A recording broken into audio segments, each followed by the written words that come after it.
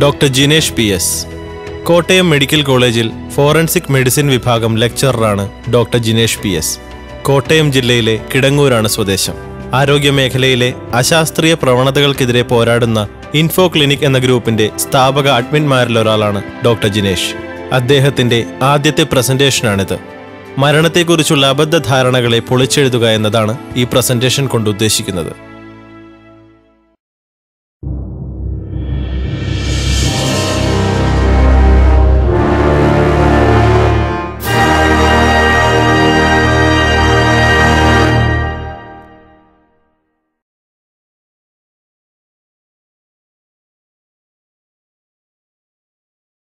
എല്ലാവർക്കും നമസ്കാരം.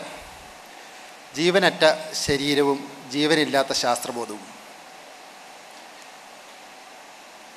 ഇന്നത്തെ ആദ്യത്തെ പ്രസംഗത്തിൽ ഡോക്ടർ അരുൺകുമാർ പറഞ്ഞതുപോലെ അദ്ദേഹം പറഞ്ഞ ആ രീതി എന്നിൽ നിന്നും പ്രതീക്ഷിക്കരുത്. മൂന്ന് അനക്ഡോട്ട്സ് തന്നെയാണ് എനിക്കും പറയാനുള്ളത്. മൂന്ന് അനുഭവ സാക്ഷ്യങ്ങൾ അല്ലെങ്കിൽ മൂന്ന് അനുഭവങ്ങൾ. നമുക്ക് അറിയാവുന്ന ചില കാര്യങ്ങളിലേക്ക്. ജൂലൈ മാസം രണ്ടായിരത്തി പതിനേഴ് ജൂലൈ ആറ് ഏഴ് തീയതികളിൽ വന്നൊരു പത്രവാർത്ത. പലപ്പോഴും നിങ്ങൾ വായിച്ചിട്ടുണ്ടാവും തന്നെ ഞാൻ കരുതുന്നു. മലപ്പുറം ജില്ലയിൽ മരിച്ച ഒരു ശരീരം തിരിച്ച് ജീവൻ വെക്കുമോ എന്നുള്ള ആഗ്രഹത്താൽ വെക്കണമെന്നുള്ള ആഗ്രഹത്താൽ ആ കുടുംബം മൂന്ന് മാസം ഈ ശരീരത്തോടൊപ്പം കാത്തിരുന്നു. ഇത് നിങ്ങൾ നിങ്ങളേവരും കണ്ടിട്ടുള്ളതായിരിക്കുമെന്ന് തന്നെ ഞാൻ കരുതുന്നു. രണ്ടാമത്തെ അനക്ഡോട്ട് എന്ന് പറയുന്നത് നമ്മുടെ ജനപ്രതിനിധികളടക്കമുള്ളവർ മൃതശരീരം വെന്റിലേറ്ററിൽ കിടത്തി ചികിത്സിച്ച് പണമുണ്ടാക്കാൻ ആശുപത്രികൾ തയ്യാറാകുന്നു എന്ന് പറയുന്നു. മൂന്നാമത്തത് ഇതിന് ശേഷം പറയാം. ജീവൻ എന്നുള്ളത് നമുക്കറിയാം. നമ്മളെല്ലാവരും ഇപ്പോൾ ജീവനോടെ ഇരിക്കുന്നവരാണ്. നാളെ ഒരിക്കൽ നമ്മളെല്ലാവരും മരിക്കും. ഞാനും മരിക്കും. നിങ്ങൾ ഓരോരുത്തരും മരിക്കും. പക്ഷേ മരണത്തെക്കുറിച്ച് വളരെ തെറ്റിദ്ധാരണാജനകമായ പല ധാരണകളും കേരളത്തിലെ സമൂഹത്തിൽ കടന്നുകൂടിയിട്ടുണ്ട്. മരണത്തെ നമുക്ക് രണ്ട് ഘട്ടങ്ങളായിട്ട് തിരിക്കാം. ഒന്നാമത്തെ ഘട്ടം സൊമാറ്റിക് ഡെത്ത് രണ്ടാമത്തെ ഘട്ടം സെല്ലുലാർ ഡെത്ത് സൊമാറ്റിക് ഡെത്ത് എന്ന് പറയുമ്പോൾ ട്രയാഡ് ഓഫ് ലൈഫ് എന്താണെന്ന് നിങ്ങൾക്ക് അറിയാമല്ലോ. ജീവന്റെ ഏറ്റവും പ്രധാനപ്പെട്ട ആ മൂന്ന് ഭാവങ്ങൾ മൂന്ന് ഘട്ടങ്ങൾ. ഒന്ന് ശ്വസന പ്രക്രിയ റെസ്പിറേറ്ററി സിസ്റ്റം രണ്ട് ബ്രെയിൻ സെൻട്രൽ നെർവസ് സിസ്റ്റം തലച്ചോറിന്റെ മസ്തിഷ്കത്തിന്റെ പ്രവർത്തനങ്ങൾ.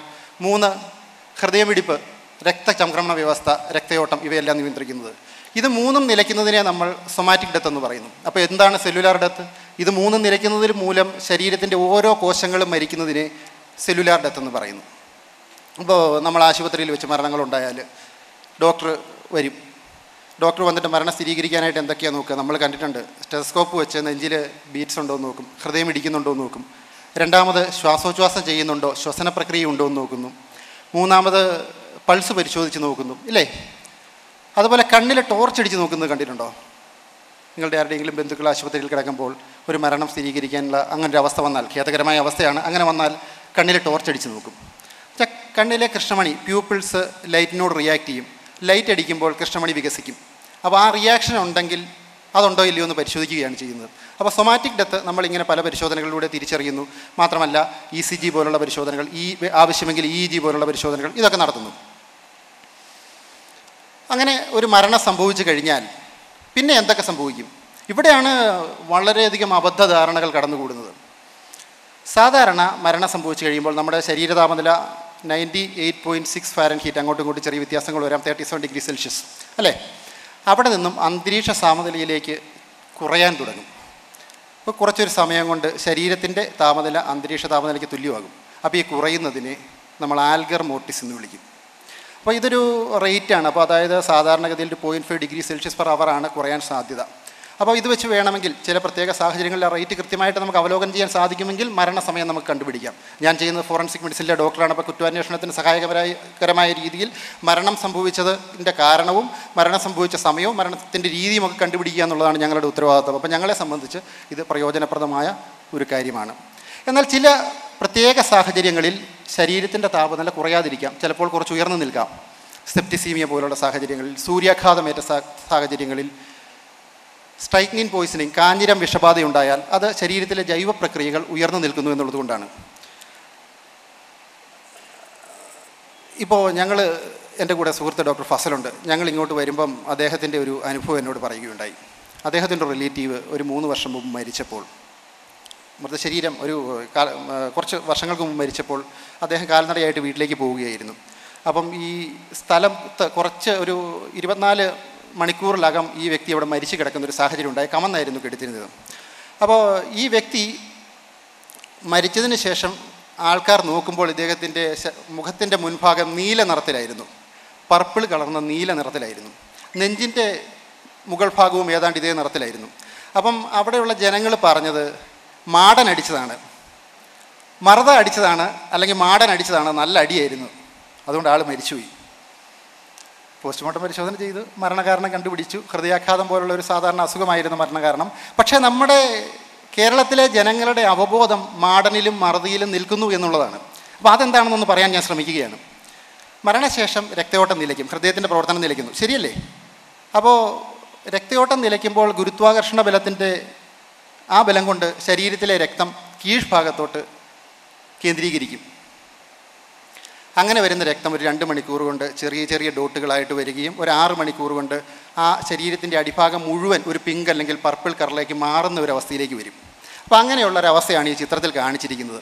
അപ്പം ശരീരത്തിന്റെ അടിഭാഗത്തിൽ ആ രക്തം അങ്ങനെ സബ്ക്യൂട്ടേനിയസ് ആയിട്ട് അങ്ങനെ നമുക്ക് ആ സ്കിന്നിലൂടെ നമുക്ക് കാണാൻ സാധിക്കും. അപ്പം ഞങ്ങളുടെ പ്രാധാന്യം എന്താണെന്ന് വെച്ചാൽ ഇങ്ങനെ വരുന്ന ഈ അടിയിലത്ത് ഈ പിങ്ക് നിറം ചിലപ്പോൾ നമ്മൾ കൈകൊണ്ട് വിരലുകൊണ്ട് പ്രസ് ചെയ്ത് കഴിഞ്ഞ് കഴിഞ്ഞാൽ ആ പിങ്ക് നിറം അപ്രത്യക്ഷമാവുകയും ആ ഭാഗത്ത് മാത്രം ശരീരത്തിന്റെ സ്വാഭാവികമായ നിറം തിരിച്ചു വരികയും ചെയ്യും.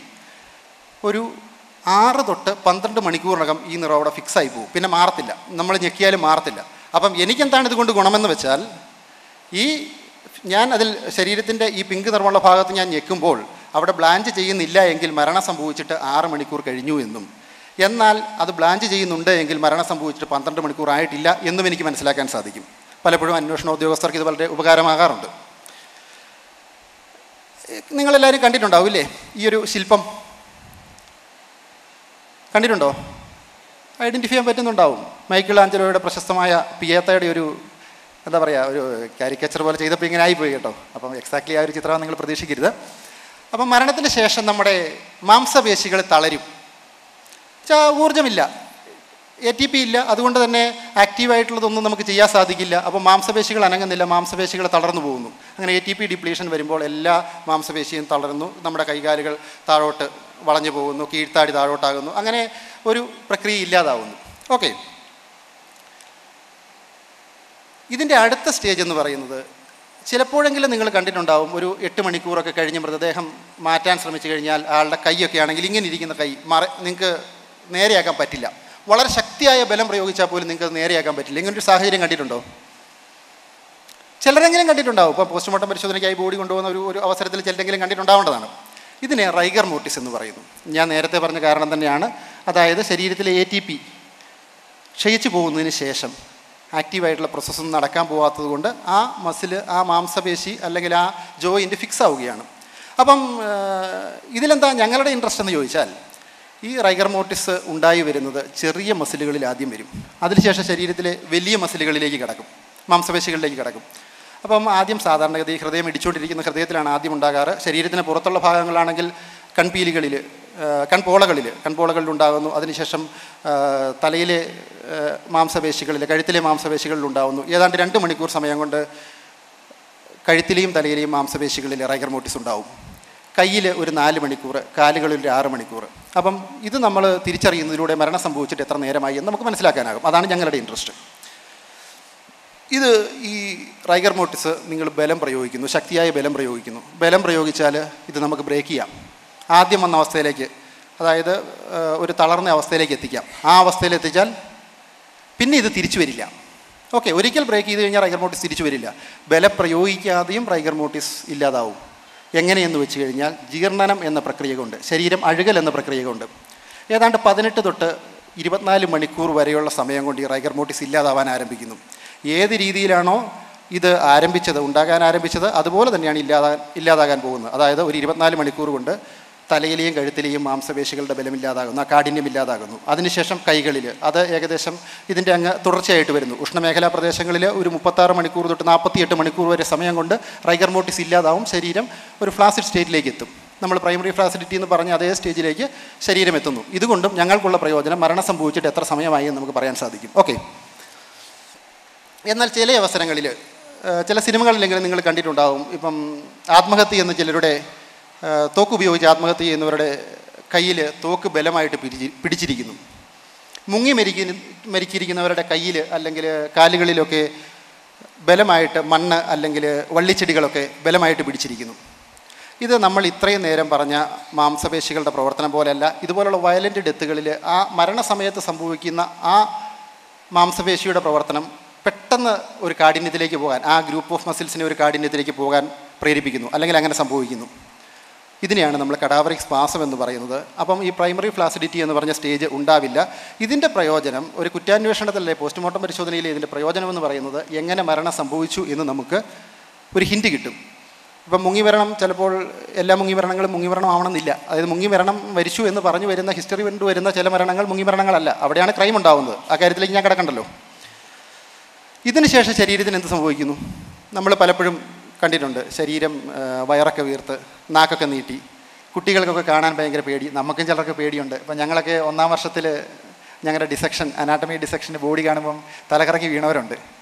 അതിൽ ആൺകുട്ടികളും പെൺകുട്ടികളും ഒക്കെ തലകറങ്ങി വീണ് കേട്ടോ. നമ്മൾ ഒരു ധാരണ എന്ന് പറഞ്ഞു കഴിഞ്ഞാൽ ബോയ്സിന് പ്രശ്നമൊന്നും ഉണ്ടാവില്ല എന്നായിരുന്നു. പക്ഷേ എല്ലാവരും ഒരു ഇരുപത് ശതമാനം അല്ലെങ്കിൽ ഒരു പത്ത് ശതമാനം പേര് തലകറങ്ങുകയും വീഴുകയും ഒക്കെ ചെയ്തു. അപ്പം അതുപോലെ ഒരു നമുക്ക് കാണാൻ അത്ര ആസ്വാദ്യകരമല്ലാത്ത കാണാൻ തൃപ്തികരമല്ലാത്തൊരവസ്ഥയാണ്. എങ്ങനെ സംഭവിക്കുന്നത്? നമ്മുടെ ശരീരത്തിൽ ഒത്തിരി സൂക്ഷ്മജീവികളുണ്ട് ബാക്ടീരിയ അടക്കമുള്ള സൂക്ഷ്മജീവികളുണ്ട്.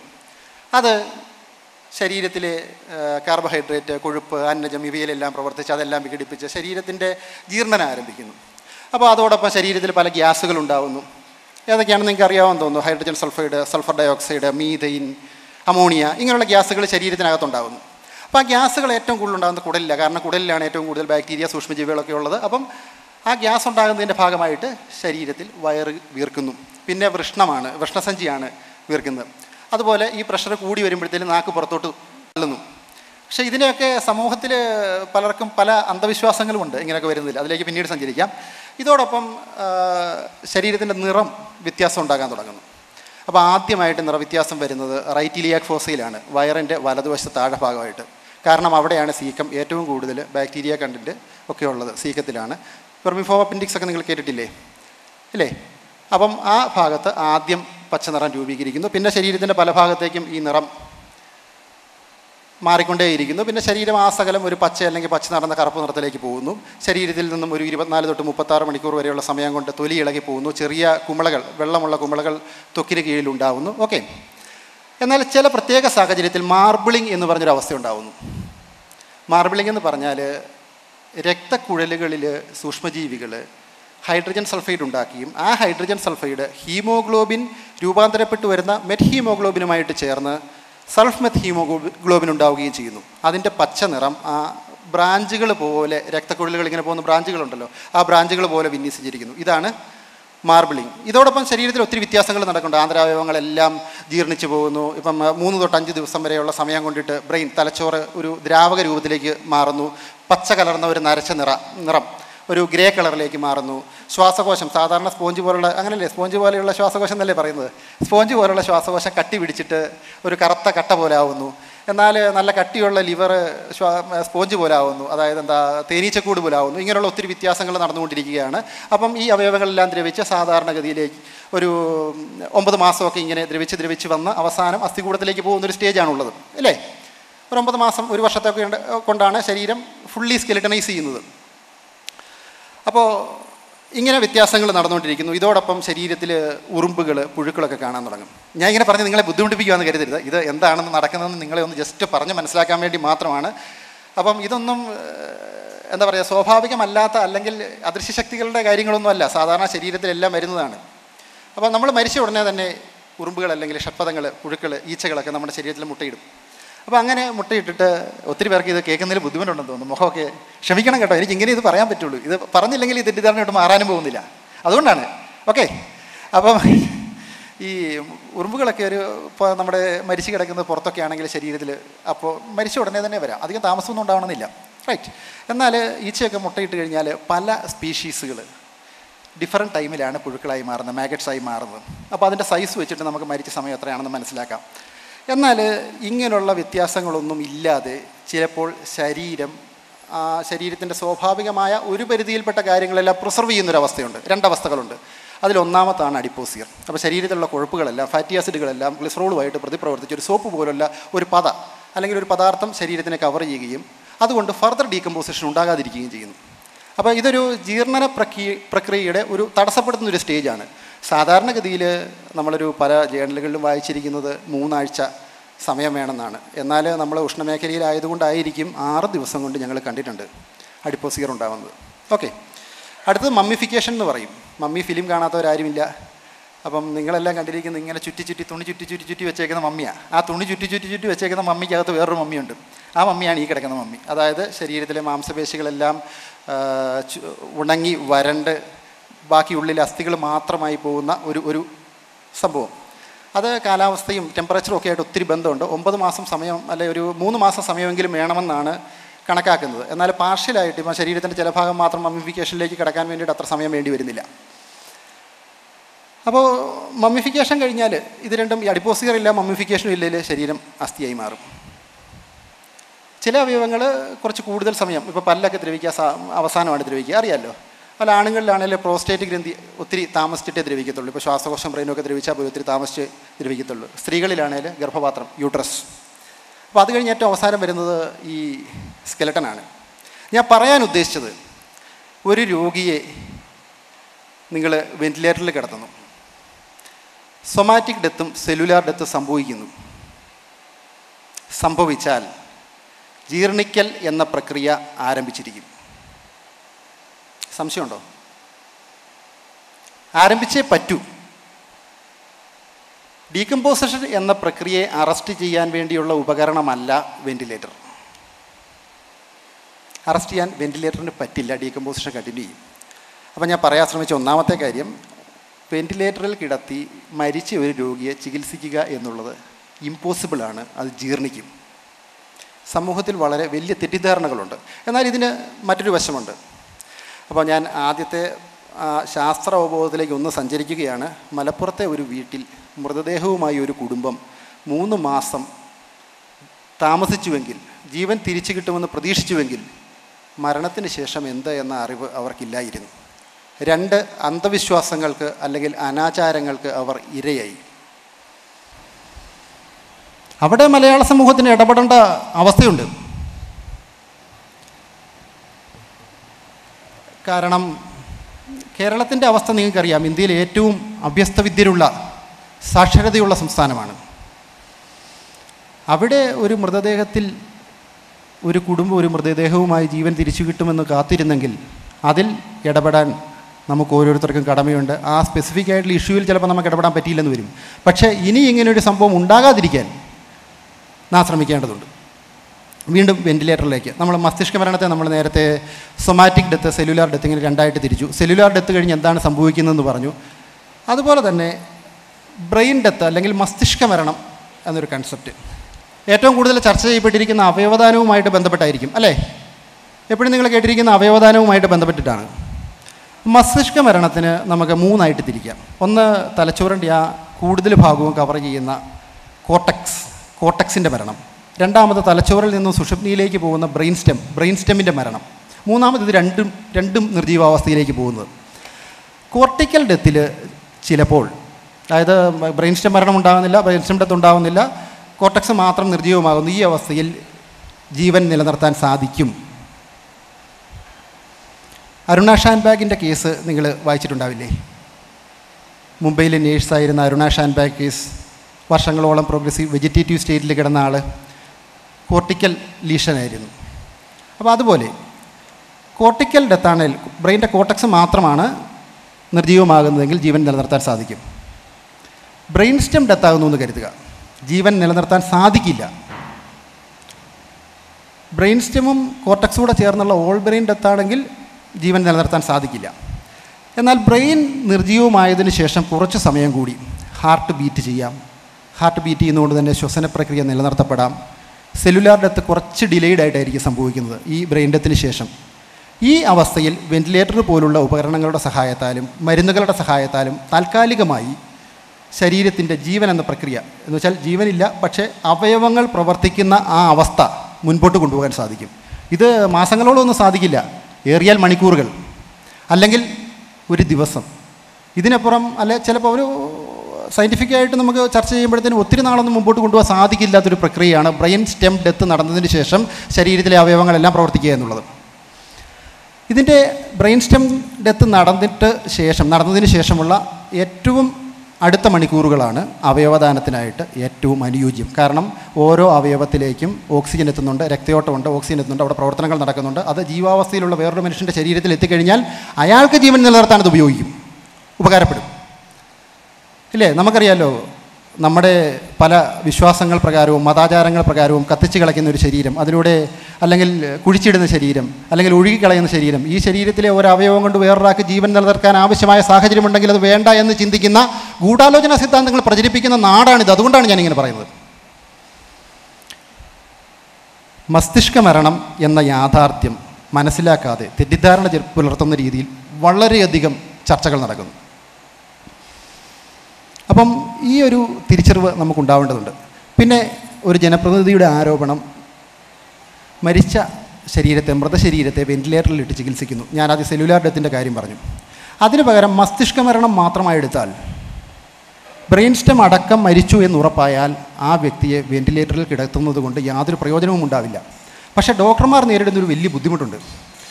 നമ്മൾ രോഗികളുടെ ബന്ധുക്കളുമായിട്ട് സംസാരിക്കുന്നു. കാര്യങ്ങൾ ശാസ്ത്രീയമായിട്ട് തന്നെ പറഞ്ഞു കൊടുക്കുന്നു. തിരിച്ചൊരു ചോദ്യം വരും. ഡോക്ടറെ എങ്ങനെയെങ്കിലും നമുക്ക് ഒന്നോ രണ്ടോ ദിവസത്തോടെ വെന്റിലേറ്ററിൽ കിടന്നാൽ ചിലപ്പോൾ ജീവൻ തിരിച്ചു കിട്ടാൻ സാധ്യതയുണ്ടോ? ഒരു ചോദ്യം കേട്ടിട്ടുണ്ട്.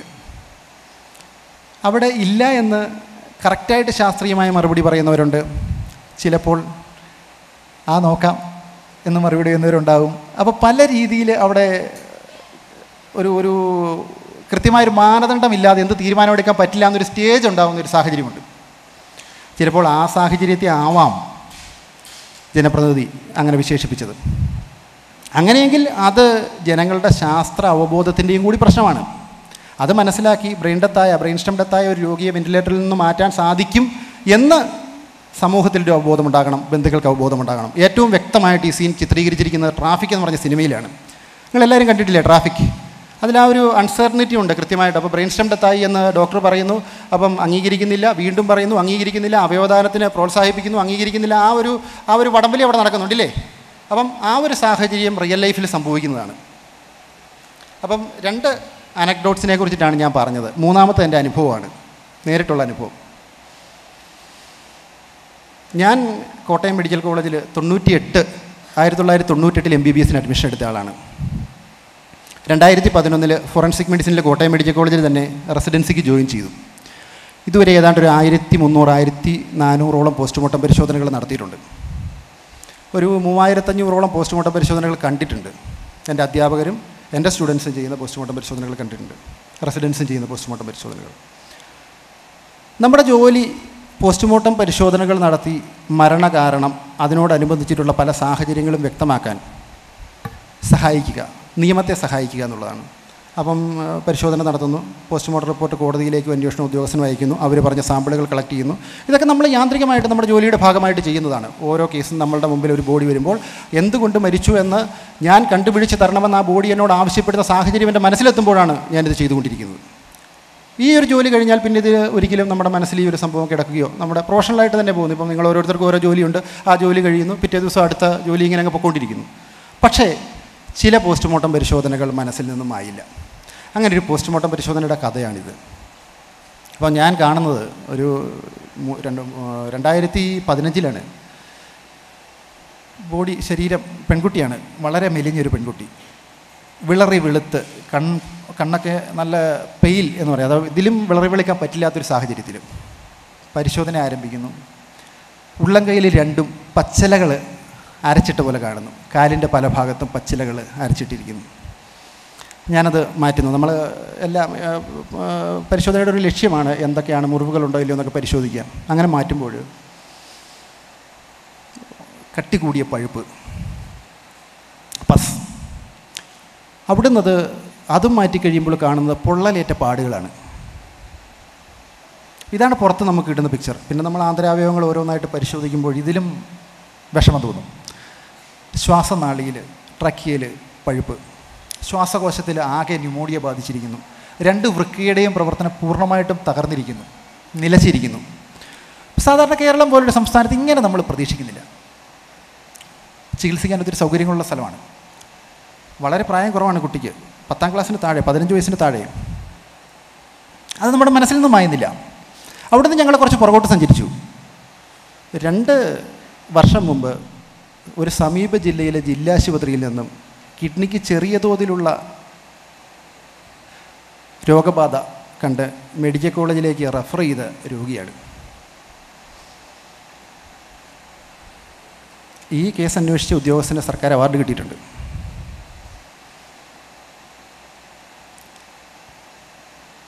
ആ രോഗി ആ കുട്ടിയെ ആ അച്ഛനും അമ്മയും ബന്ധുവായ ഒരാളുടെ വീട്ടിൽ ചികിത്സ എന്ന് പറഞ്ഞ് ഹോമത്തിന് കൊണ്ടുപോയി. ആ ഹോമത്തിന്റെ ഫലമാണ് ആ കുട്ടിയുടെ കയ്യിലും കാലിലും കണ്ട പൊള്ളലേറ്റ പാടുകളും അതിന്റെ ഫലമായിട്ടുണ്ടായ പഴുപ്പും ആ അണുബാധ ശരീരത്തിൽ ആസകലം ബാധിച്ച സെപ്റ്റിസീമിയ എന്ന് പറഞ്ഞ കണ്ടീഷനിലേക്ക് പോവുകയും ന്യൂമോണിയ അടക്കം ഉണ്ടാവുകയും ചെയ്തു. ഇന്ത്യയിലെ ഏറ്റവും കൂടുതൽ സാക്ഷരതയുള്ള സംസ്ഥാനത്തിൽ ആരോഗ്യ അവബോധമുള്ള സംസ്ഥാനത്തിൽ ശിശുമരണ നിരക്ക് ഏറ്റവും കുറവുള്ള സംസ്ഥാനത്തിൽ ഏറ്റവും ആയുസ് ശരാശരി ആയുസ് കൂടിയ സംസ്ഥാനത്തിൽ ഇത് സംഭവിക്കുന്നു. ഇതൊരിക്കലും ഒരു വ്യക്തിയുടെ പ്രശ്നമല്ല. രോഗം വന്ന വ്യക്തിയുടെയോ മാതാപിതാക്കളുടെയോ പ്രശ്നമല്ല. അവരുടെ മാത്രം പ്രശ്നമല്ല അവരുടെ പ്രശ്നമുണ്ട്. പ്രശ്നം തീർച്ചയായിട്ടുമുണ്ട്. നമ്മളെല്ലാം സാമൂഹ്യ ജീവികളാണ്. ആ സമൂഹത്തിന്റെ ഭാഗമായതുകൊണ്ടാണ് ഞാനും നിങ്ങളും ഇവിടെ ഇരിക്കുന്നതും നമ്മൾ സംവദിക്കുന്നതും. അയൽ വീട്ടുകാരുണ്ട് പഞ്ചായത്തുണ്ട്. ഭരിക്കുന്ന ഭരണ അധികാരങ്ങളുള്ള സ്ഥാപനങ്ങളുണ്ട്. ജനാധിപത്യ വ്യവസ്ഥയിലുള്ള എല്ലാ സൗകര്യങ്ങളും ലഭിക്കുന്ന ഒരു സംസ്ഥാനമാണ് കേരളം. ഏതാണ്ട് അവകാശങ്ങൾ അത്ര ഹരിക്കപ്പെടാത്ത സംസ്ഥാനം. ഇന്ത്യയിലെ പൊതുവായ അവസ്ഥയിൽ നിന്ന് ചിന്തിച്ചാൽ സമത്വം ഒരു പരിധിവരെയെങ്കിലും പാലിക്കാൻ പറ്റുന്ന സംസ്ഥാനങ്ങളുടെ മുൻപിൽ നിൽക്കുന്ന സംസ്ഥാനം. ഒരു വീട്ടിലെ ഒരു കുട്ടിക്ക് വൃക്ക ഭാഗികമായി തകരാറാണെന്ന് അറിഞ്ഞാൽ ശരിയായ ചികിത്സ കൊടുക്കാൻ സാധിക്കുന്ന സൗകര്യങ്ങളുള്ള സർക്കാർ ആശുപത്രികളുള്ള സംസ്ഥാനം. ഇതൊരിക്കലും ഒരു വ്യക്തിയുടെയോ ഒരു കുടുംബത്തിന്റെ പ്രശ്നമല്ല. ഒരു സമൂഹത്തെ ബാധിച്ചിരിക്കുന്ന അന്ധവിശ്വാസങ്ങളുടെയും അനാചാരങ്ങളുടെയും ശാസ്ത്ര അവബോധമില്ലായ്മയുടെയും മാത്രം പ്രശ്നമാണ്. ഇവിടെ നമ്മൾ ഇടപെടണം. ഇതാണ് എന്റെ ജീവിതത്തിൽ ഞാൻ കണ്ട മൂന്നാമത്തെ അല്ലെങ്കിൽ ഇന്ന് ഞാൻ സംസാരിക്കാൻ ഉദ്ദേശിച്ച മൂന്നാമത്തെ അനക്ഡോട്ട് എന്തുകൊണ്ട് ഇങ്ങനെ സംഭവിക്കുന്നു? ഇനിയാണ് ഞാൻ എന്റെ വിഷയം അവതരിപ്പിക്കുന്നത്. അഞ്ച് മിനിറ്റ് തീർത്തോളാം. എന്റെ ബന്ധു മരിക്കുന്നു എന്ന് കരുതുക. അല്ലെങ്കിൽ എനിക്ക് ക്യാൻസർ എന്ന് പറഞ്ഞ അസുഖമുണ്ടെന്ന് എന്നെ ചികിത്സിക്കുന്ന ഡോക്ടർ പറയുന്നു എന്ന് കരുതുക. അല്ലെങ്കിൽ എന്റെ ഹൃദയം പരാജയപ്പെട്ടുകൊണ്ടിരിക്കുകയാണ്. ഈ ഹൃദയം ഒരു കുറച്ച് നാളുകൾക്കകം ഇത് നിലയ്ക്കും മാറ്റി വെക്കണമെന്ന് പറയുന്നു. എന്തായിരിക്കും സ്വാഭാവികമായിട്ടുള്ള നമ്മുടെ റിയാക്ഷൻ മനസ്സിനെക്കുറിച്ചും പരിണാമത്തെക്കുറിച്ചും ഒക്കെ പറഞ്ഞു കഴിഞ്ഞു. അപ്പം സ്വാഭാവികമായിട്ട് നിങ്ങളാണ് എന്ത് എന്ത് ചിന്തിക്കും? അംഗീകരിക്കാൻ സാധ്യതയുണ്ടോ? ഇപ്പം സിറോസിസ് ആണെന്ന് കരുതുക. മദ്യപിക്കത്തില്ലാത്ത ഞാൻ. എനിക്ക് സിറോസിസ് വന്നു. ഞാൻ വിശ്വസിക്കുമോ പുകവലിക്കാത്ത ഞാൻ. എനിക്ക് ലങ് ക്യാൻസർ വരുന്നു. ശ്വാസകോശ ക്യാൻസർ വരുന്നു. ഞാൻ അംഗീകരിക്കുമോ ആ പറയുന്ന സ്റ്റേജിൽ എനിക്കതില്ല. അത് മിക്കവാറും എക്സ്റേ മാറിപ്പോയതായിരിക്കും.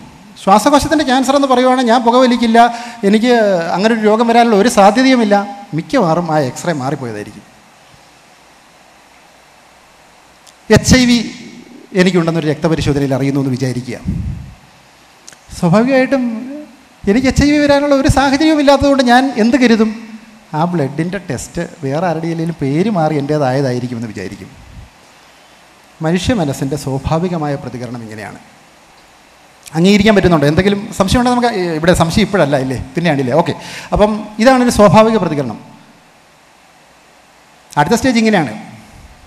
പക്ഷേ സംഭവം ശരിയാ. എന്റെ എക്സ്റേ എന്റെ ബ്ലഡുവാ. എച്ച് ഐ വി ഉണ്ട്. എന്റെ എക്സ്റേ ആണ്. ശ്വാസകോശ ക്യാൻസർ ഉണ്ട് മദ്യപിക്കില്ല പക്ഷേ സിറോസിസ് ഉണ്ട്. യു എസ് ജിയുടെ ഫൈൻഡിങ് ഞാൻ കണ്ടു. വേണമെങ്കിൽ ഹിസ്റ്റോപത്തോളജി പരിശോധനാ ഫലവും വന്നു ഉറപ്പിച്ചു. പിന്നെ എനിക്ക് ദേഷ്യമാണ്. ഞാൻ ഒരു തെറ്റും ചെയ്യാതെ എനിക്ക് ശ്വാസകോശ കോശ ക്യാൻസർ വരുന്നു എച്ച് ഐ വി വരുന്നു. അല്ലെങ്കിൽ ഹൃദയം പ്രവർത്തിക്കാതാവുന്നു. ഞാൻ എന്താ തെറ്റ് ചെയ്തേ? എനിക്ക് പൊതുവിലുള്ള ഒരു നിയമത്തിലും ഒന്നിലും വിശ്വാസമില്ലാതാകുന്നു. എല്ലാവരോടും ദേഷ്യം കോപം അംഗീകരിക്കാൻ പറ്റാത്ത ആ സാഹചര്യത്തിന്റെ മൂർധന്യാവസ്ഥ. ആ കോപം ചിലപ്പോൾ നമ്മൾ പ്രകടിപ്പിക്കുന്ന ബന്ധുക്കളുടെ അടുത്തായിരിക്കും ചിലപ്പോൾ സുഹൃത്തുക്കളുടെ അടുത്തായിരിക്കും. അപ്പം അങ്ങനെ ഒരു സ്റ്റേജ് ഉണ്ടാവുന്നു. പക്ഷെ അവിടെയും നമ്മൾ പരിഹാരത്തിലേക്ക് എത്തുന്നില്ല. അടുത്ത സ്റ്റേജിലേക്ക് നമ്മൾ പോവാണ്. അപ്പോൾ നമുക്ക് ആ സ്റ്റേജിൽ നമ്മുടെ ഒരു ഉദാഹരണം എന്ന് വെച്ചാൽ സുഖമുണ്ട്. മോശമായിപ്പോയി ശരിക്കും എനിക്കിതൊരിക്കലും വരാൻ പാടില്ലാത്ത പക്ഷേ ഞാൻ ഒരു കാര്യം ചെയ്യാം. ഇനി എല്ലാ ദിവസവും ഞാൻ പോയി പള്ളിയിൽ പോവാം അല്ലെങ്കിൽ അമ്പലത്തിൽ പോവാം. എന്റെ ദൈവമേ ഇതൊന്നും എടുത്ത് മാറ്റണേ. ഒരു ബാർഗെയിനിങ് ആണ്. നമ്മളൊരു വിലപേശൽ ആരംഭിക്കുകയാണ്. ഉണ്ടോ ഇല്ലയോ എന്ന് തിരിച്ചറിയാത്ത അല്ലെ ഇല്ലെങ്കിൽ എന്ന് തെളിയിക്കപ്പെട്ടിട്ടുള്ള ദൈവത്തിന്റെ പേരിലുള്ള ഒരു വിലപേശലിലേക്ക് നമ്മൾ കടക്കുകയാണ്. എന്താ ഫലം? ചികിത്സയ്ക്ക് അതൊന്നും മാറില്ല. ഇതിനകത്തൊന്നും ചെയ്യാനില്ല. ആ വിലപേശലും ഇതുപോലെ തന്നെ അവസാനിക്കും. ആ വിലപേശൽ അവസാനിക്കുമ്പോൾ നമുക്ക് ഒരു കാര്യം മനസ്സിലാകും. നീ രക്ഷയില്ല. നമ്മൾ ഇനി ഇരുന്നിട്ട് കാര്യമില്ല. എന്തായാലും പോയി.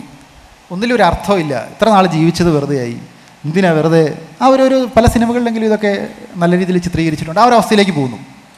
ഇതൊക്കെ സ്വാഭാവികമായിട്ടും ഒരു മനുഷ്യ മനസ്സിന് ഉണ്ടാകാവുന്ന സാധ്യതകളാണ് പല പഠനങ്ങളിലും മനസ്സിലാക്കിയിട്ടുള്ളത്. അതിനടുത്തൊരു സ്റ്റേജുണ്ട്. അവസാനത്തെ സ്റ്റേജ് അഞ്ചാമത്തെ സ്റ്റേജ്. നമുക്ക് മനസ്സിലാകും നമുക്ക് അസുഖമുണ്ടെന്ന്. നമുക്ക് മനസ്സിലാവും എച്ച് ഐ വി ആണ് എച്ച് ഐ വി ആണല്ലേ ശ്വാസകോശ സംബന്ധമായ ക്യാൻസർ ആണെങ്കിൽ അങ്ങനെയാണ്. എന്തായാലും ആ അസുഖം എനിക്കുണ്ട് എന്ന് ഞാൻ അംഗീകരിക്കുന്നു. നമ്മൾ അംഗീകരിക്കുന്നു. എന്നാൽ എന്താ ചികിത്സ? നോക്കാം. ഇതാണ് ഒരു സ്വാഭാവികമായിട്ടുള്ള ഘട്ടങ്ങൾ. ഇതെല്ലാവരിലും ഇങ്ങനെ ഇതുപോലെ തന്നെ വരണം നിർബന്ധമില്ല. ചില ഘട്ടങ്ങൾ ഉണ്ടാവാതിരിക്കാനുള്ള സാധ്യതകളുണ്ട്. അതായത് നമ്മൾ ആദ്യത്തേത് നമുക്ക് എന്തായാലും ഇല്ല എന്ന് വിശ്വസിക്കും. അത് കഴിഞ്ഞിട്ട് ബാർഗെയിനിങ് ഇല്ലാതെ വരാം. ചിലപ്പോൾ ചിലരുടെ കോപം ഉണ്ടാകാതെ വരാം. അത് ഓരോരുത്തരുടെ വ്യക്തിപരമായ ചില കാര്യങ്ങളുമായിട്ട് ബന്ധപ്പെട്ടിരിക്കുന്നു. പക്ഷേ സ്വാഭാവികമായിട്ട് ഈ അഞ്ച് ഘട്ടങ്ങൾ ഉണ്ടാവാൻ നല്ല സാധ്യതകളുണ്ട്. തിരിച്ചറിവ് എന്ന ഘട്ടം വരുന്നതിന് മുൻപ് ഇതാണ് സംഭവിക്കുന്നത്. ഒന്ന് ഓതിച്ച് നോക്കാം. ഒന്ന് ചരട് കെട്ടി നോക്കാം. അന്ന് തലയിൽ വെള്ളം തളിച്ച് നോക്കാം. ഈ ഹാളിലിരിക്കുന്ന ആരും ഇത് ചെയ്യുമെന്ന് ഞാൻ കരുതുന്നില്ല. പക്ഷേ കേരളത്തിൽ ഇങ്ങനെ ചെയ്യുന്ന ആൾക്കാരുടെ എണ്ണം വളരെ വളരെ വളരെ കൂടുതലാണ്. അതുകൊണ്ടാണ് കേരളത്തിൽ കഴിഞ്ഞ കുറേ വർഷങ്ങൾക്കിടയിൽ ഒരു രണ്ട് വർഷത്തിനിടയിൽ ഒമ്പത് കേസുകളെങ്കിലും ഹോമം നടത്തി അസുഖം മാറ്റാൻ ശ്രമിച്ചതിന്റെ പേരിൽ രജിസ്റ്റർ ചെയ്യപ്പെട്ടത്. പുറത്തറിഞ്ഞത് അത്രയേ ഉള്ളൂ. എന്തുമാത്രം ധ്യാന കേന്ദ്രങ്ങളുടെ പേരിൽ അഭിനയങ്ങളെന്ന അഭിനയങ്ങളുടെ രീതിയിലുള്ള കോപ്രായങ്ങൾ നടക്കുന്നു. നമ്മുടെ നിസ്സഹായാവസ്ഥ ചൂഷണം ചെയ്യപ്പെടുകയാണ്. എന്തുകൊണ്ടാണ് ഒരു അസുഖം വന്നാൽ ചികിത്സിക്കണം എന്നുള്ള ശാസ്ത്രീയ അവബോധമില്ലാത്തതിന്റെ പേരിൽ. അതിന്റെ പേരിൽ ഒരു കുട്ടിയെ ഹോമം നടത്താൻ വിട്ടുകൊടുത്ത് കൊലയ്ക്ക് കൊടുത്ത സമൂഹം. ഈ അവസ്ഥയിൽ നിന്നാൽ മതിയോ? ഇതിനെ പ്രേരിപ്പിക്കുന്ന രീതിയിൽ ഗൂഢാലോചന സിദ്ധാന്തങ്ങളും വാക്സിൻ വിരുദ്ധതയും മരുന്ന് കമ്പനികളെല്ലാം ലോകത്തെ ജനങ്ങളെ ഇല്ലായ്മ ചെയ്യാൻ വേണ്ടി പ്രവർത്തിക്കുന്നവരാണ് മരുന്നുകളുടെ ലക്ഷ്യം ഡീപോപ്പുലേഷനാണ് എന്നൊക്കെ പറയുന്ന ചില അബദ്ധ പ്രചരണങ്ങൾ നിറഞ്ഞു നിൽക്കുന്ന വാട്സാപ്പ് പോലുള്ള ലോകവും. നമുക്കിത് മതിയോ? ശാസ്ത്ര അവബോധം ഉണ്ടാക്കാൻ സൃഷ്ടിക്കാൻ ശാസ്ത്ര സാഹിത്യ പരിഷത്ത് വർഷങ്ങൾക്ക് മുമ്പിൽ സ്ഥാപിക്കപ്പെട്ട സംസ്ഥാനമാണ് കേരളം. ശാസ്ത്ര അവബോധം ഉണ്ടാക്കാൻ എസൻസ് പോലുള്ള പ്രോഗ്രാമുകൾ നടക്കുന്ന റെഗുലറായിട്ട് സംഘടിപ്പിക്കപ്പെടുന്ന സംസ്ഥാനമാണ് കേരളം. ആ കേരള സംസ്ഥാനത്തിലാണ് ഇതൊക്കെ സംഭവിക്കുന്നത്. ഇവിടെ എനിക്ക് പ്രതീക്ഷയേ ഉള്ളൂ. കാരണം ശാസ്ത്രത്തിന് വേണ്ടി സംവദിക്കാൻ ശാസ്ത്രത്തിന് വേണ്ടി സംസാരിക്കാൻ ശാസ്ത്രീയത എന്തെന്ന് മനസ്സിലാക്കാൻ തെറ്റുകൾ എന്തെന്ന് എതിർക്കാൻ ഒരു കൂട്ടം വ്യക്തികൾ മുമ്പോട്ട് വരുന്നു. ആ വ്യക്തികൾക്ക് ഒരു കൂട്ടായ്മയുണ്ടാകുന്നു അതിന് മികച്ച നേതൃത്വം ഉണ്ടാകുന്നു. അതിൽ ഞങ്ങളെപ്പോലുള്ളവർക്ക് പങ്കെടുക്കുവാൻ സാധിക്കുന്നു. എല്ലാവർക്കും നന്ദി പറയുക എന്നത് മാത്രമാണ് ഇതുപോലുള്ള സാഹചര്യത്തിൽ പ്രതീക്ഷയോടെ എനിക്ക് പറയാനുള്ളത്. അതുകൊണ്ട് നമുക്ക് എന്തിനു വേണ്ടിയാണ് ചേരാം? ശാസ്ത്രീയതയ്ക്ക് വേണ്ടിയാണ് ചേരാം. ഒരു അഭ്യർത്ഥന കൂടിയുണ്ട്. രണ്ട് മിനിറ്റിൽ തീർക്കാം. ഇന്ത്യയിൽ മീസിൽസ റുബല്ല എന്നീ രണ്ട് രോഗങ്ങളെ നിർമ്മാർജനം ചെയ്യാൻ എം ആർ വാക്സിനേഷൻ യജ്ഞം ആരംഭിച്ചിരിക്കുകയാണ്. കേരളത്തിൽ വരുന്ന മൂന്നാം തീയതി ഒക്ടോബർ മൂന്നാം തീയതിയാണ് ഇത് ആരംഭിക്കുന്നത്. ഒമ്പത് മാസം മുതൽ പതിനഞ്ച് വയസ്സ് വരെയുള്ള എല്ലാ കുട്ടികളിലും എം ആർ വാക്സിനേഷൻ നൽകണം. എന്തിനെന്നുള്ളതിന് ഒരു ഉത്തരം ഞാൻ പറയാം. എന്റെ ടോപ്പിക്കുമായിട്ട് ഒരു ബന്ധവുമില്ല. പക്ഷേ ശാസ്ത്രീയതയായിട്ട് ബന്ധമുള്ളത് കൊണ്ട് മാത്രം പറയുന്നതാണ്. രണ്ടായിരം ആണ്ടിൽ കേരള ഇന്ത്യയിലെ മീസിൽസ് രോഗം മൂലം ബാധിച്ച കുട്ടികളുടെ എണ്ണം ഒരു ലക്ഷമായിരുന്നു. അന്ന് ഇന്ത്യയിലെ മീസിൽസ് വാക്സിനേഷന്റെ കവറേജ് അമ്പത്താറ് ശതമാനം. രണ്ടായിരത്തി പതിനഞ്ചിൽ മീസിൽസ് വാക്സിനേഷന്റെ കവറേജ് എൺപത്തേഴ് ശതമാനമായി മരണം ഒരു ലക്ഷത്തിൽ നിന്നും നാൽപ്പത്തൊമ്പതിനായിരത്തിലേക്ക് കുറഞ്ഞു. നാൽപ്പത്തി ഒമ്പതിനായിരത്തിലേക്ക് കുറഞ്ഞു. അത് നൂറ് ശതമാനമായാൽ ഈ മരണം നമുക്കില്ലാതാക്കാം കേരളത്തിന്റെ അവസ്ഥ തികച്ചും വ്യത്യസ്തമാണ്. കുറച്ചുകൂടെ എന്താ പറയുക ഈ പറഞ്ഞ ആരോഗ്യ അവബോധമുള്ളത് കൊണ്ടും ആരോഗ്യ സൗകര്യങ്ങളുള്ളത് കൊണ്ടും ഒരു തൊണ്ണൂറ്റി രണ്ട് ശതമാനം തൊണ്ണൂറ് ശതമാനമൊക്കെ ഉണ്ടാവും മീസിൽസ് വാക്സിന്റെ കവറേജ്. അത് നൂറ് ശതമാനമാക്കിയാൽ തൊണ്ണൂറ്റൊമ്പത് ശതമാനമാക്കിയാൽ ഈ രണ്ട് അസുഖങ്ങളെ കേരളത്തിൽ നിന്നും നമുക്ക് പറഞ്ഞു വിടാം പക്ഷേ ഡിഫ്തീരിയയിലൂടെ മരണങ്ങൾ സൃഷ്ടിക്കാൻ കാരണക്കാരായ വില്ലൻ ചുമ പോലുള്ള അസുഖങ്ങൾ കേരളത്തിലേക്ക് തിരിച്ചെത്തിക്കാൻ ശ്രമിക്കുന്ന ഡീപോപ്പുലേഷൻ അജണ്ട അടക്കമുള്ള മണ്ടത്തരങ്ങൾ പറയുന്ന ചില പ്രത്യേക വിഭാഗങ്ങളുടെ ജനസംഖ്യ നിയന്ത്രിക്കാൻ വേണ്ടിയിട്ടാണ് വാക്സിൻ കൊടുക്കുന്നതെന്ന് മണ്ടത്തരങ്ങൾ പറയുന്ന ഒരു വിഭാഗം അശാസ്ത്രീയത പടർത്തുന്ന ആൾക്കാർ ഈ പദ്ധതിയെ എതിർക്കുന്നുണ്ട് തുരങ്കം വയ്ക്കാൻ ശ്രമിക്കുന്നുണ്ട്. അവിടെ നിങ്ങൾ ഓരോരുത്തരുടെയും പിന്തുണ കേരളത്തിലെ ഓരോ കുഞ്ഞുങ്ങൾക്കും വേണ്ടി അഭ്യർത്ഥിക്കുന്നു. നന്ദി.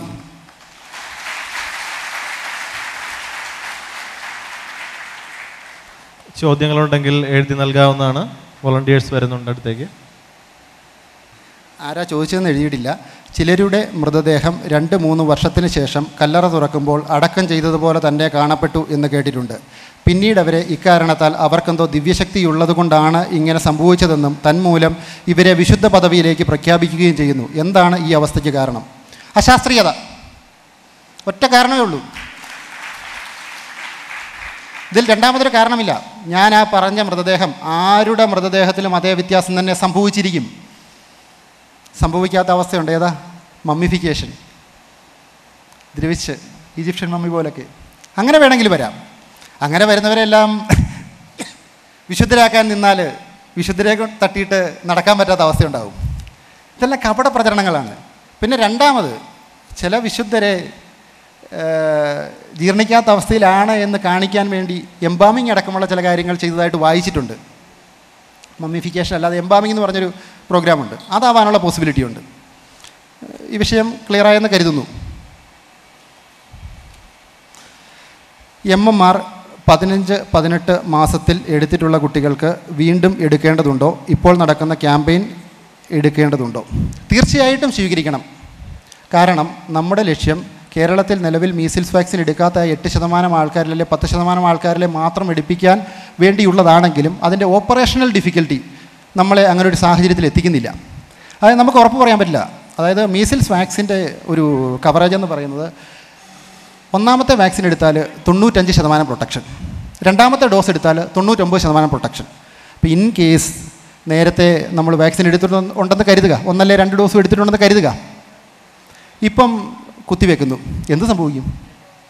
നേരത്തെ എടുത്ത വാക്സിൻ ശരീരത്തിൽ പ്രയോജനപ്രദമാണെങ്കിൽ രോഗപ്രതിരോധ ശേഷി അതുകൊണ്ട് ശരീരത്തിൽ ലഭിച്ചിട്ടുണ്ടെങ്കിൽ ഇപ്പോൾ ഈ live attenuated vaccine point five M L കുത്തിവെക്കുമ്പോൾ തന്നെ ആ നിമിഷത്തിൽ അത് നിർജീവമായി പോകും കാരണം ആദ്യം ശരീരത്തിൽ ലഭിച്ച രോഗപ്രതിരോധ ശേഷി കൊണ്ട്.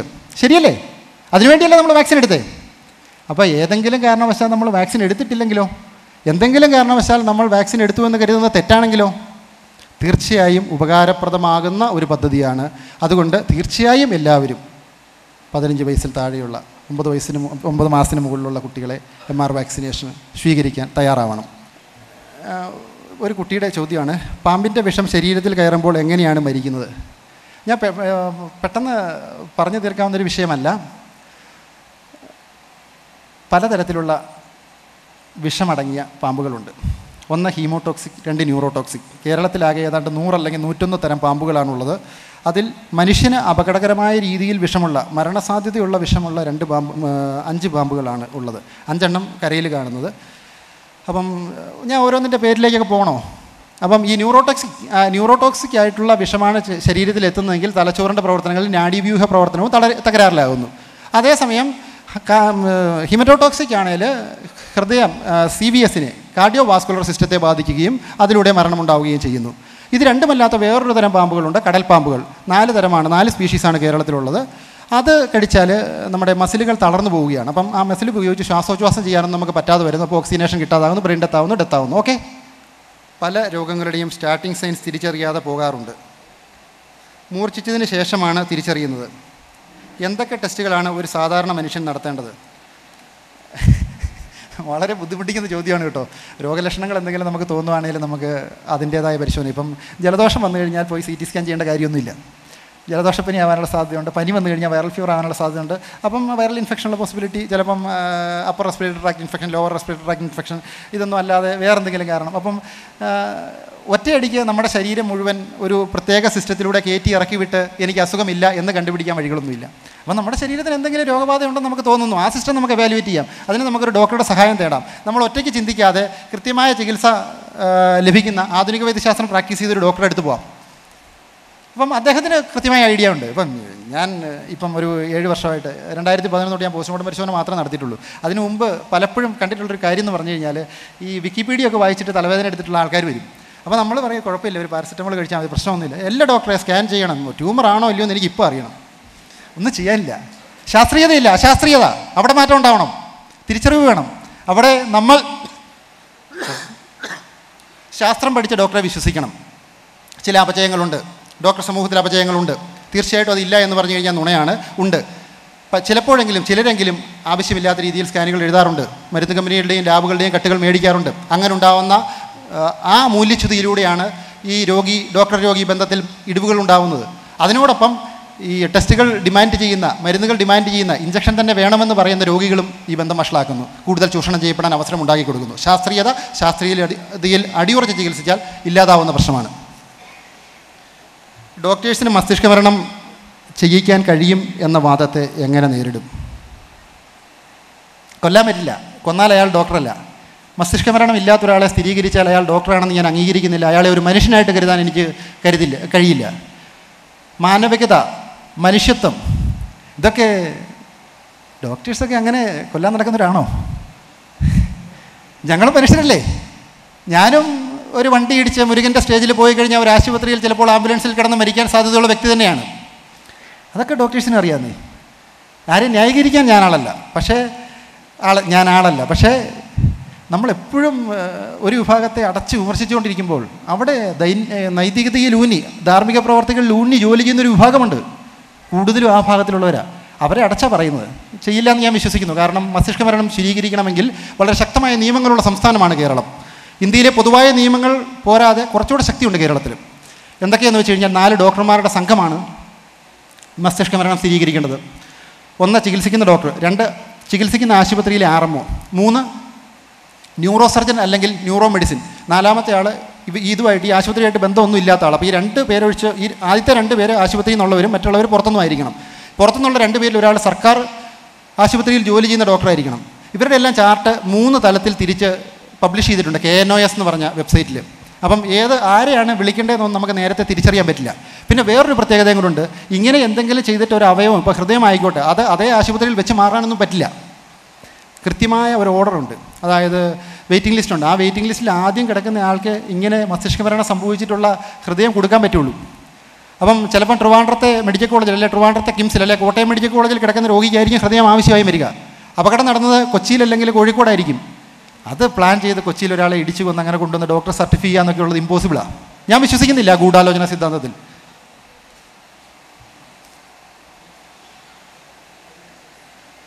അഞ്ച് മിനിറ്റ് കൂടി എനിക്കുണ്ട്. ഞാനപ്പം പെട്ടെന്ന് പെട്ടെന്ന് പറയാം. തമിഴ്നാട് ചീഫ് മിനിസ്റ്റർ ജയലളിത മരിച്ചതിന് ശേഷം രണ്ട് ദിവസം കഴിഞ്ഞ് മരണം പ്രഖ്യാപിച്ചത് രണ്ട് ദിവസത്തിന് കഴിഞ്ഞാണ് മരണം പ്രഖ്യാപിച്ചത് എന്നാണ് ആരോപണം. എന്താണ് താങ്കളുടെ അഭിപ്രായം? അറിയില്ലാത്ത വിഷയം ചോദിച്ചാൽ അറിയില്ല എന്നാണ് പറയാൻ സാധിക്കുക. ഞാനും ഡോക്ടർ ഫസലോട് ഒരുമിച്ച് അങ്ങ് വന്നത്. അപ്പോൾ അദ്ദേഹം എന്നോട് സംസാരിച്ചുകൊണ്ടിരുന്ന ഇതായിരുന്നു. അദ്ദേഹം ഒരു സർജനാണ്. അപ്പോൾ ന്യൂറോ സർജറിയിൽ സർജറിയിൽ അവഗാഹമുള്ള ആളാണ്. അദ്ദേഹം എന്നോട് പറഞ്ഞത് മിക്കവാറും ജയലളിത അല്ലെങ്കിൽ ഒരു പ്രോഗ്രസീവ് അല്ലെങ്കിൽ ഒരു വെജിറ്റേറ്റീവ് സ്റ്റേറ്റിൽ അത് കോർട്ടിക്കൽ ഡെത്ത് ഞാൻ ആദ്യം പറഞ്ഞില്ലേ അങ്ങനെ ആയിരിക്കും കുറച്ച് നാളുകൾ സർവൈവ് ചെയ്ത് അങ്ങനെ ആയിരിക്കാം എന്ന് അദ്ദേഹം അഭിപ്രായം പ്രകടിപ്പിച്ചു. ഈ രണ്ട് ദിവസത്തെ എനിക്കതിൽ മറുപടി പറയാൻ പറ്റില്ല. അറിയില്ലാത്ത കാര്യമാണ്. പക്ഷേ ഇതൊരു പോസ്റ്റ്മോർട്ടം പരിശോധന നടത്തിയിരുന്നെങ്കിൽ കൃത്യമായിട്ട് പറയാൻ പറ്റുമായിരുന്നു. അത് നമ്മൾ ചെയ്യാതിരുന്നത് ചില ആചാരങ്ങളുടെ പേരിൽ അതിന്റെ ഒന്നും ആവശ്യമില്ല ചെയ്യാമായിരുന്നു. മസ്തിഷ്ക മരണമല്ലാത്ത സാധാരണ മരണത്തിന് ശേഷം എന്തൊക്കെ അവയവം ദാനം ചെയ്യാൻ കഴിയും? അതും എത്ര മണിക്കൂറുകൾക്കുള്ളിൽ. മരണം മരണം സംഭവിച്ച എത്ര നേരത്തെ വേണേലും നമുക്ക് അവയവങ്ങൾ ദാനം ചെയ്യാം.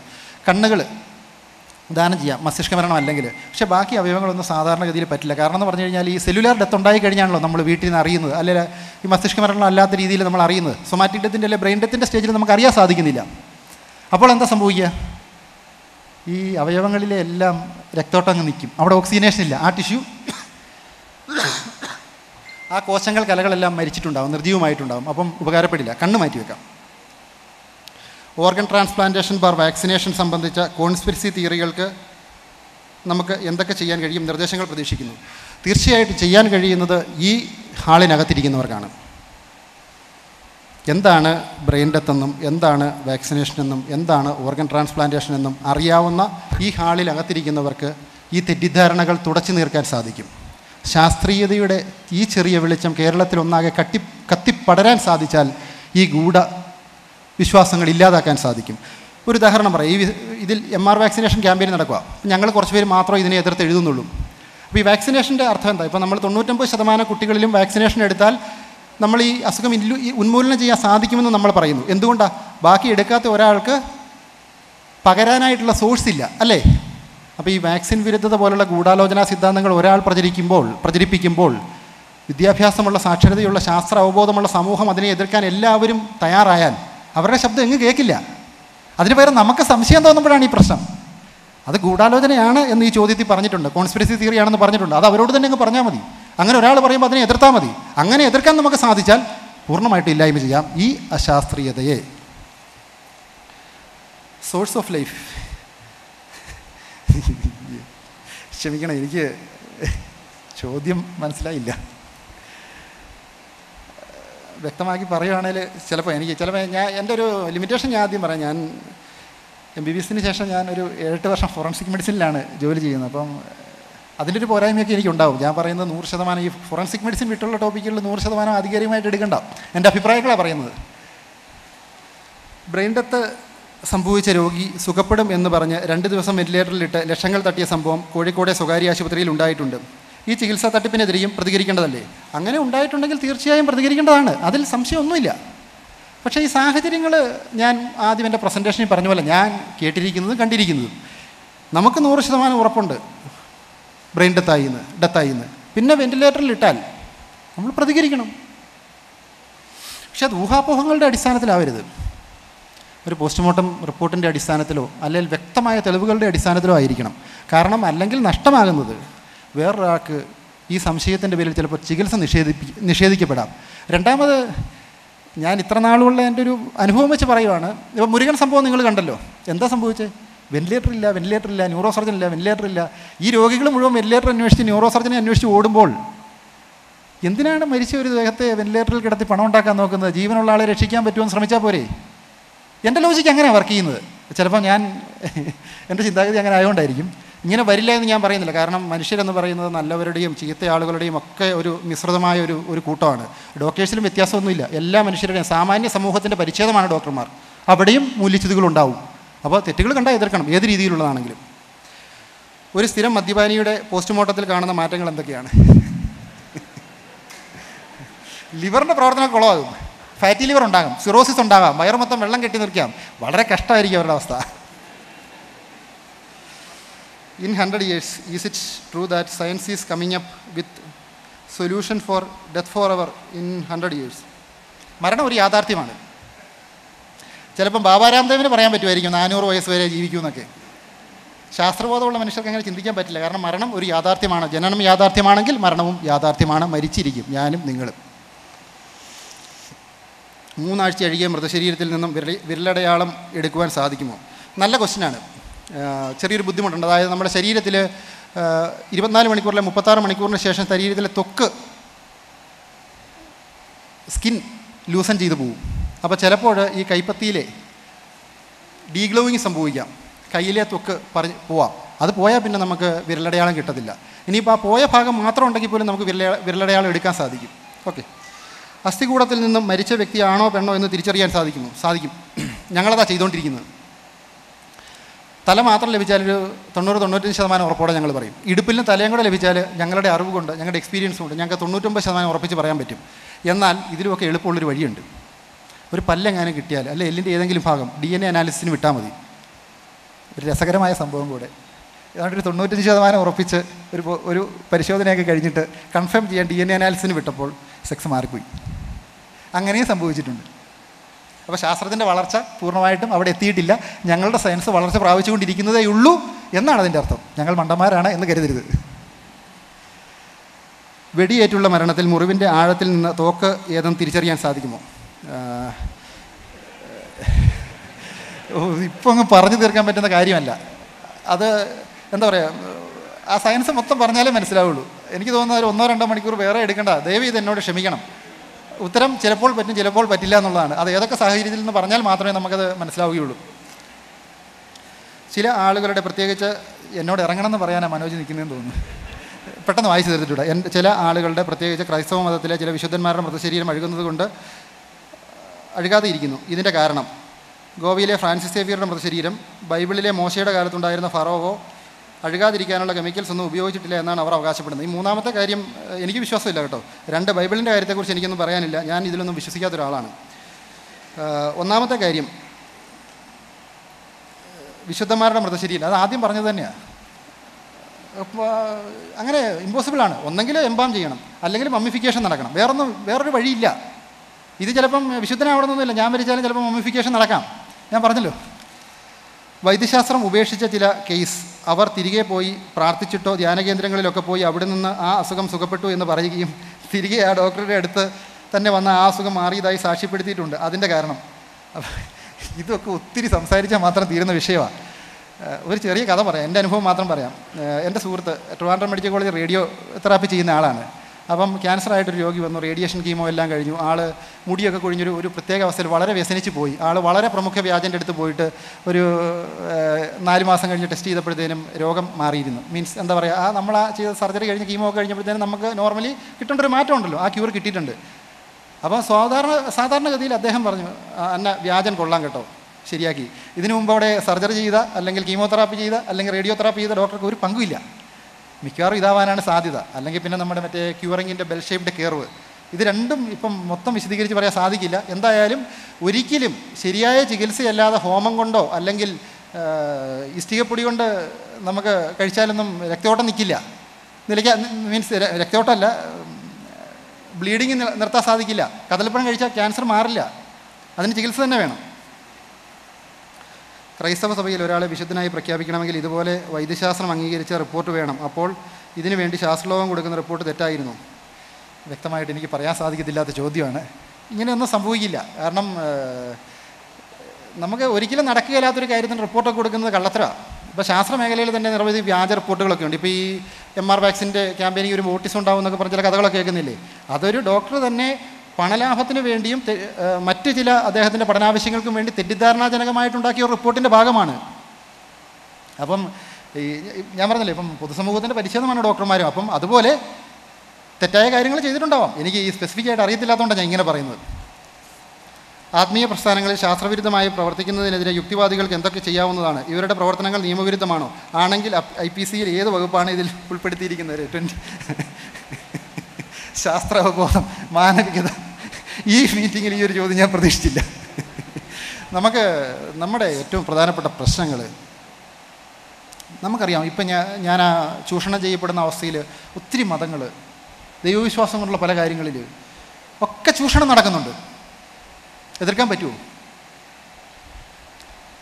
വ്യാജ പ്രചരണങ്ങൾക്കെതിരെ കേസെടുക്കാൻ പറ്റും. എടുക്കൂ. വോട്ട് ബാങ്ക് രാഷ്ട്രീയമാണ് പ്രശ്നം തന്നെ ഞാൻ കരുതുന്നു. ഇപ്പം നമ്മുടെ ഇത് ഈ പ്രശ്നങ്ങളൊക്കെ നമ്മൾ എന്താ പറയുക ചർച്ചകളിലൂടെ വീണ്ടും വീണ്ടുമുള്ള ചർച്ചകളിലൂടെ ഒരു സൊല്യൂഷനിലെത്തണം. നമ്മളെല്ലാവരും ഒരുമിച്ച് പ്രവർത്തിക്കണം. പരാതികൾ കൊടുക്കുമ്പോൾ ഒരാൾ കൊടുത്തിട്ട് കാര്യമില്ല. പല സ്ഥലങ്ങളിൽ നിന്നുണ്ടാവണം. എന്റെ വീടിന്റെ അടുത്ത് ഒരു ഏതെങ്കിലും ഒരു ചടങ്ങിന്റെ പേരിൽ വളരെ വലിയ ബഹളം വെക്കുന്നു. എനിക്ക് ഉറങ്ങാൻ പറ്റുന്നില്ലെങ്കിൽ ഞാൻ പരാതി കൊടുക്കാൻ തയ്യാറാവണം. പക്ഷേ ഞാൻ മാത്രം പരാതി കൊടുത്താൽ ഞാൻ പിന്നെ അടുത്ത പരാതി കൊടുക്കാൻ ഉണ്ടാവില്ല. അതുകൊണ്ട് എല്ലാവരും പരാതി കൊടുക്കാൻ പറ്റുന്ന ഒരു രീതിയിലേക്ക് നമ്മുടെ സമൂഹം മാറണം.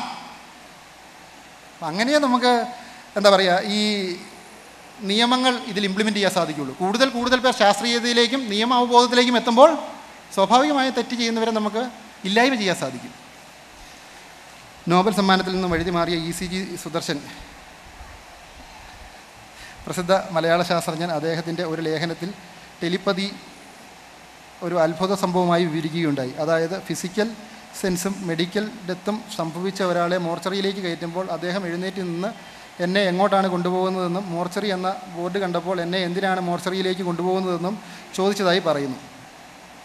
അല്ല ഇ സി ജോർജ് സുദർശനെ അറിയാം. അദ്ദേഹത്തിന്റെ പുസ്തകങ്ങൾ വായിച്ചിട്ടുണ്ട്. ഇദ്ദേഹം ഇങ്ങനെ പറഞ്ഞിട്ടുണ്ടോ എന്ന് എനിക്കറിയില്ല.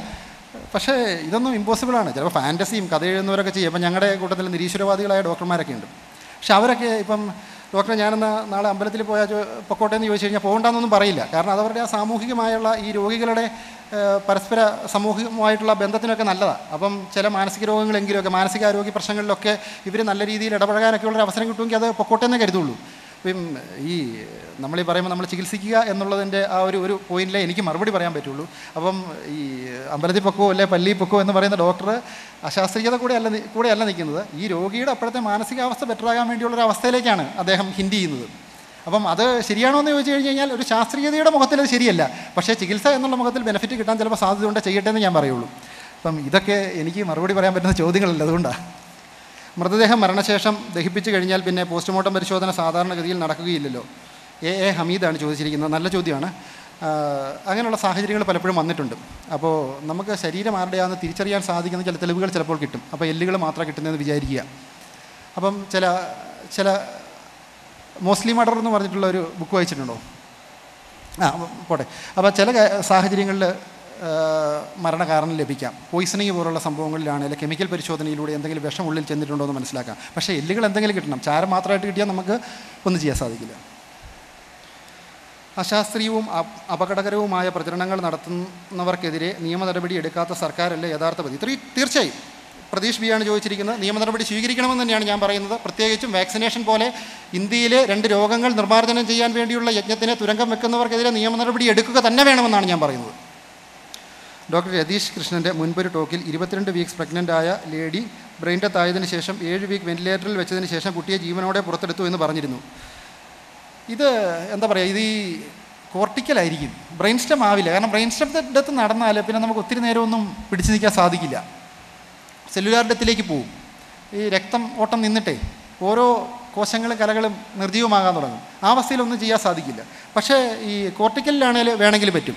പിന്നെ ശാസ്ത്രം വികസിക്കുകയാണ്. ഇപ്പോൾ നമ്മൾ വെന്റിലേറ്ററിന്റെ സയൻസും കൃത്രിമമായിട്ട് ശ്വാസം കൊടുത്ത് മരുന്നുകളിലൂടെയൊക്കെ ആളുടെ ഒരു താൽക്കാലികമായ അവസ്ഥ മുമ്പോട്ട് കൊണ്ടുപോകുന്ന സാഹചര്യം വരുന്നുണ്ട്. അത് ശാസ്ത്രം നാളെ ഒരിക്കൽ കൂടുതൽ കൂടുതൽ വികസിക്കുമ്പോൾ ചിലപ്പോൾ കുറച്ച് നാൾ കൂടുതൽ ചിലപ്പോൾ തള്ളി നീക്കാൻ പറ്റുമായിരിക്കും. ഡിപ്പെൻസ് എന്താ ശാസ്ത്രത്തിന്റെ വളർച്ചയുമായിട്ട് ബന്ധപ്പെട്ടിരിക്കുന്നു. അപ്പോൾ ചോദ്യങ്ങൾ കഴിഞ്ഞു. ഞാൻ ഒത്തിരി സമയം എടുത്തതുകൊണ്ട് മനോജ് എന്നെ ഇപ്പോൾ പുറത്താക്കും. എല്ലാവർക്കും നന്ദി. ഒരു സെക്കൻഡ് ഒരു സെക്കൻഡ് നന്ദി ഡോക്ടർ ജിനേഷ്. ഡോക്ടർ ജിനേഷിന് നമ്മുടെ സ്നേഹോപഹാരം നൽകുന്നതിനായി പത്തനംതിട്ട എസൻസിന്റെ സജീവ പ്രവർത്തകനായ എം എസ് മധുവള്ളി കോർഡിനേറ്റ് ക്ഷണിച്ചു